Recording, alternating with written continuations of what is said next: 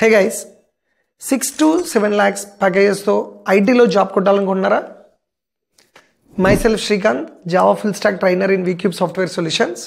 Here we have an approach like you need to be good at core Java concepts, multi-threading, collections, Java 8 features, including exception handling. When it comes to advanced Java, servlets, JSP, JDBC, with MySQL, you need to create one application. The second one, you need to be completing at least Spring Hibernate or Spring JDBC with MySQL application. And the third one, Spring Boot microservices including JPA.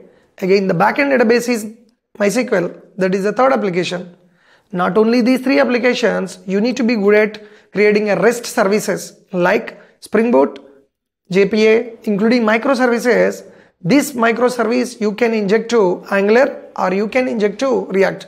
If you completing these four approaches, yes, you will get a job in IT with 6 to 7 lakhs packages without any doubt. For such kind of more information, contact below numbers. Thank you.